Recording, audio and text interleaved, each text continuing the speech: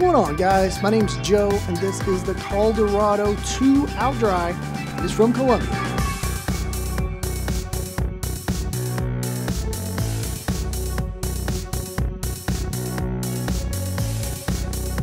Now, this trail running shoe was built for the neutral runner. It's very lightweight and has an 8mm heel to toe differential, and it's going to be waterproof. It's got the waterproof membrane in there, which is going to keep the water out, but still allow your foot to breathe, which is really nice. Now, we've got fluid foam here in the midsole, keeps the weight down. It's going to give you good response out there on the trail. The outsole's got this multi directional lug pattern to just really tackle the ground as you go. And the footbed is removable. It's got some Got that really deep heel cup back there in the back and just great overall cushioning. Keep your feet dry, protected, and comfortable out there on the trail. Have a good time. It's from Columbia.